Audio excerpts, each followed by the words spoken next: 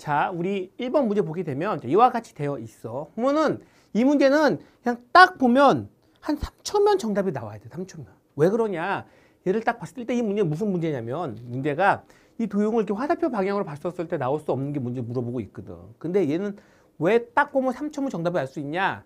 얘를 보자마자 얘가 눈에 띄면 알 수 있는 거야. 아, 얘는 원통이 키포인트다라는 걸 알 수 있다라는 거지. 자, 왜 원통이 키포인트냐면 말이야. 이거야, 이거. 보시면 이 원통을 보게 되면 이 원통, 이 원통을 보면 이렇게 만들어 볼게. 자, 만들어 보면 원통이 이렇게 만들어질 거 아니야, 이렇게. 이렇게 만들어졌어. 그럼 얘는 원통이야, 원. 맞죠? 원통이야. 근데 얘는 봐봐, 봐봐. 정면으로 쭉쭉쭉쭉쭉 딱 보면 원통이 아니라 사각형으로 보이잖아. 저 원통은 말이야. 일로 봤을 때 원이지만 일로 봤을 때는 사각형으로 보인다는 게 핵심이거든.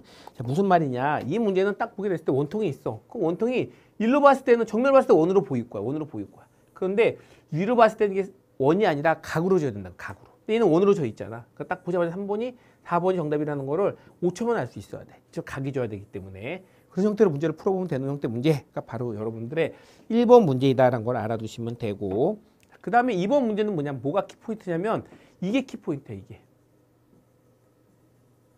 자, 무슨 말이냐면 내가 총 6면체를 그려볼게 자, 이렇게 그릴 수가 있잖아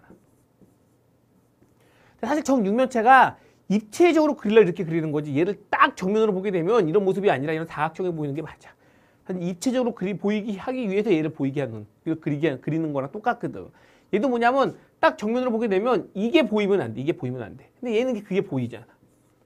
그렇죠? 그럼 딱 세 개를 지울 수가 있어. 그럼 두 개만 남아 두 개 가운데 갈라졌으면 갈라진 정답 2번이라는 걸 또한 알 수가 있다라는 거지. 항상 이런 류의 문제는 포인트가 뭔지를 빨리 잡고 보는 게 중요하다라는 걸 잊지 않으셔야 됩니다.